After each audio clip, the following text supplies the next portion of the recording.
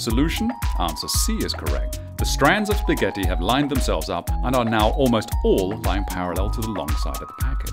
When packing and transporting things, the aim is often to pack things as closely together as possible in order to save space. This is also the case in nature. For example, the way in which seeds are arranged in flowers.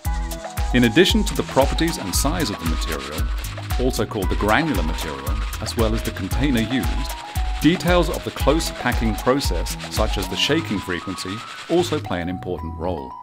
Some nice experiments on this were recently carried out as German Young Researchers Competition, project with the title Shaken Not Stirred.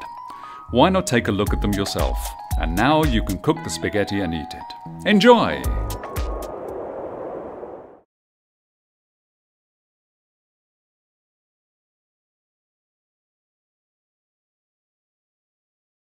Yeah.